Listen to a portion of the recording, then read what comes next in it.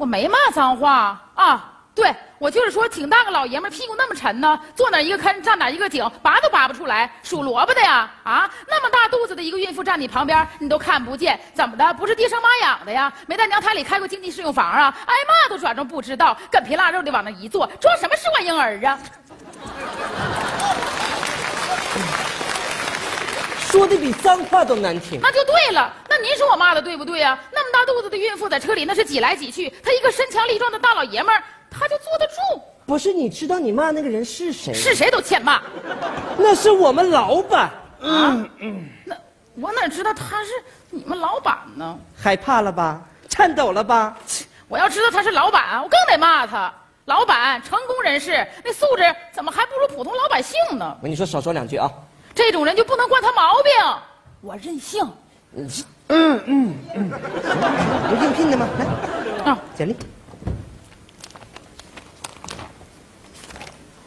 你叫什么名？啊？任性。叫什么？任性。你怎么能叫任性呢？我怎么就不能叫任性呢？我爸爸叫认真，给我取名叫任性。那你，那你爸爸也太任性了。这是女孩子家家的名吗？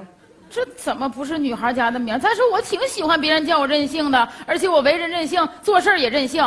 你看，别看我把你们领导给得罪了，我还就想应聘你们那份工作呢。别问我为什么，任性。你是挺任性的，那我考考你，你了解我们这份工作吗？当然了，我在环球公司做过六年。啊，但是我告诉你，除了本职工作以外，还要保持办公室的环境啊，要做到窗明几净、一尘不染。那没问题呀，什么脏活累活我都干过。啊，什么脏活累活都干过是吗？给我擦擦鞋吧。什么？你不什么脏活累活都干过吗？给我擦擦鞋。这，你要是不愿意干呢，你可以说 no。这是不是 no 不 no 的事？我是来应聘的，又不是来擦鞋的。啊，我是主任，有任性啊。行，您任性，我叫您任性。哎呀，找你，我呀跟你对狙，没素质。你管我洗不洗脚呢？我愿意有任性。哎呀，好了好了，别闹。老板，你看看他呀，多任性啊！老板，哎，对，没错。来，你见过这张合影吗？哎，这不是我原来公司年会的合影吗？您怎么会有啊？你再看看，这个人，这不就是我吗？真的是您？哎，那您怎么参加我们公司的这个年会呀？你原来公司的老板是我朋友。啊，我听说你特别爱给你老板提意见，而且不分时间场合，有的时候大庭广众之下照提不误，整的你们老板特别没面子，是这样吗？是。啊，小姑娘长得流光水滑的，你咋就愿意干这种事儿呢？啊，老板，这种人咱们可不能用啊！啊，那你说咱们得用什么样人？老板，你过来，我觉得吧，这有一个最合适的人选。谁？就是我小姨子，我小姨子长得那是秀外慧中，秀色可餐，哎，长得老漂亮了。那有多漂亮啊？你不见过我媳妇吗？见过。哎，姐俩长得那是一模一样啊。哦，那还是算了吧。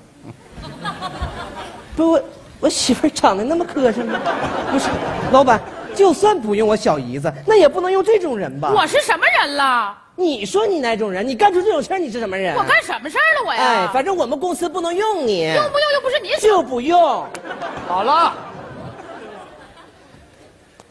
前两天我看着你原来老板了，他跟我说，虽然你愿意给他提意见，弄得他很没面子，而且现在离开他公司，他觉着你仍然是个人才，而且他跟我说他特别想感谢你，所以如果你要愿意的话，就留到我的公司做一名办公室主任，怎么样？不是，我考虑考虑。你考虑什么？考虑考虑。老板，你还是考虑考虑我吧。你说他当办公室主任，我干什么呀？你可以在他手下干文秘啊。老板，这合适吗？合适吗？我是老板，我任性。